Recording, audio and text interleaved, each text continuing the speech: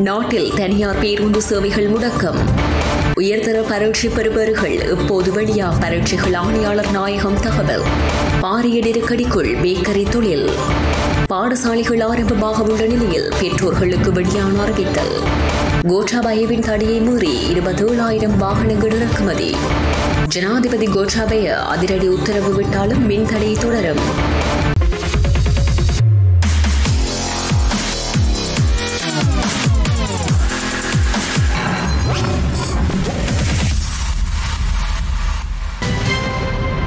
நாட்டில் காலியும் மாலியிலும் மாத்திரமே பாடசாலை மாணவர்கள் மற்றும் அலுவலக ஊழியர்களை கருத்தில் கொண்டு பேருந்து சேவைகள் இடம்பெறும் என தனியார் பேருந்து உரிமையாளர்கள் சங்கத்தின் தலைவர் ஹெமுலு விஜயரட்ன தெரிவித்துள்ளார்.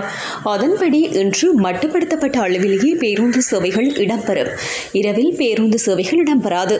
இது தொடர்பாக அவர் மேலும் தெரிவித்திருப்பதாவது இரவில் தனியார் பேருந்துகள் சேவையில் ஈடுபடாது.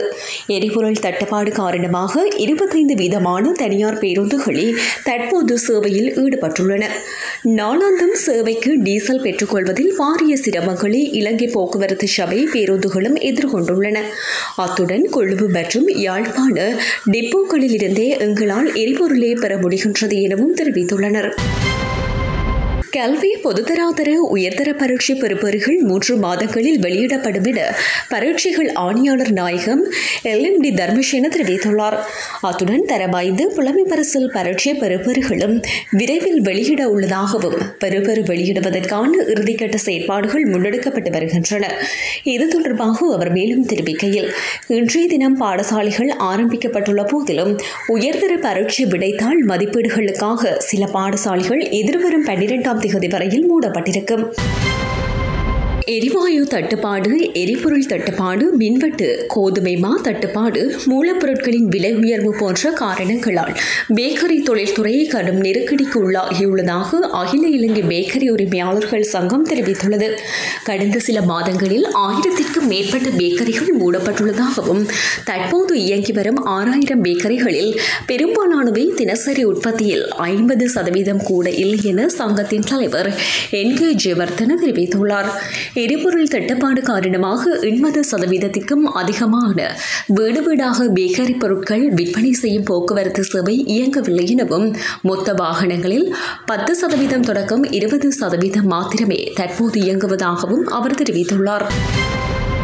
இன்று பாடசாலைகள் ஆரம்பமாக உள்ள நிலையில் சளி மற்றும் காய்ச்சல் உள்ள பிள்ளைகளை பாடசாலைக்கு அனுப்புவதை பெற்றோர் தவிர்க்குமாறு கொழும்பு லேடி ரீச்சிய சிறுவர் வைத்தியசாலையின் குழந்தைகள் நல மருத்துவர் டாக்டர் தீபால் பெரேரா வேண்டுகோள் விடுத்துள்ளார். மேலும் இதுபோன்ற அறிகுறிகள் உள்ள குழந்தைகள் இருந்தால் அறிகுறிகள் குறைந்த பிறகே அவர்களை பள்ளிக்கு அனுப்ப வேண்டும் என பெற்றோர் உறுதியாக இருக்க வேண்டும் என்றும் குறிப்பிட்டுள்ளார். பெற்றோர்கள் ஆசிரியர்கள் பள்ளி பேருந்து ஓட்டுநர்கள் உதவியாளர்கள் குறிப்பாக பன்னிரண்டு வயது வயதிற்குட்பட்ட பிள்ளைகளுக்கு முழுமையாக தடுப்பூசி போடுவது அவசியம் என்று கூறிய அவர் பிள்ளைகள் பள்ளிகளில் கூடுவதை தடுக்க ஆசிரியர்களும் நடவடிக்கை எடுக்க வேண்டும் என தெரிவித்துள்ளார். இலங்கையில் ஏற்பட்டுள்ள பொருளாதார நெருக்கடி காரணமாக வாகன இறக்குமதிக்கு ஜனாதிபதி கோட்டாபய ராஜபக்ஷ தடை விதித்திருந்தார். எனினும் அந்த தடையை மீறி கடந்த வருடத்தின் முதல் எட்டு மாதங்களில் இருபத்தாறாயிரத்து தொள்ளாயிரத்து ஐம்பத்தி மூன்று வாகனங்கள் இறக்குமதி செய்யப்பட்டுள்ளதாக நிதியமைச்சு விடுத்துள்ள அறிக்கையில் குறிப்பிடப்பட்டுள்ளது. இறக்குமதி செய்யப்பட்ட வாகனங்களில் எழுபத்தி ரெண்டு கார்கள் நான்கு பஸ்கள் இரண்டாயிரத்தி இரண்டு முச்சக்கர வண்டிகள் ஆயிரத்து நூற்றி பத்து மோட்டார் சைக்கிள்களும் உள்ளடங்குவதாக தெரிய வந்துள்ளது இதே கால பகுதியில் இருபத்தி இரண்டாயிரத்து எழுநூற்று எழுபத்தொன்பது வாகனங்கள் பதிவு செய்யப்பட்டுள்ளதாகவும் நிதியமைச்சு தெரிவித்துள்ளது. இதேவேளை மோட்டார் வாகனங்கள் இறக்குமதிக்கு விதிக்கப்பட்டுள்ள கட்டுப்பாடு காரணமாக இறக்குமதிக்கான உற்பத்தி வரி நாற்பத்தொன்பது தசம் ஒரு பில்லியன் ரூபாவால் குறைவடைந்துள்ளது. இலங்கையில் மின்சார தடையை தவிர்க்க முடியாது என இலங்கை மின்சார சபை தெரிவித்துள்ளது. அனல் மின் நிலையங்களுக்கு எரிபொருள் வழங்கப்பட்டாலும் மின்சாரம் வழங்கல் ஒழுங்குமுறையை அமலாக்க வேண்டிய நிலை ஏற்பட்டுள்ளதாக அந்த சபை சுட்டிக்காட்டியுள்ளது. கடந்த ஐந்தாம் திகதியின் பின்னர் நாட்டில் மின்சாரம் தடை இருக்காது என ஜனாதிபதி நிதியமைச்சர் மற்றும் பல தலைவர்கள் உறுதியளித்துள்ளனர். எனினும் இலங்கை மின்சார சபை அதற்கு பதிலளிக்கவில்லை. குறித்த நேரத்தில் எரிபொருளை வழங்கியிருந்தால் மின் தடையை குறைத்திருக்க முடியும் எனவும் ஆனால் மின்வெட்டை முற்றாக நிறுத்த வேண்டியது எனவும் மின்சார சபையின் பேச்சாளர் தெரிவித்துள்ளார்.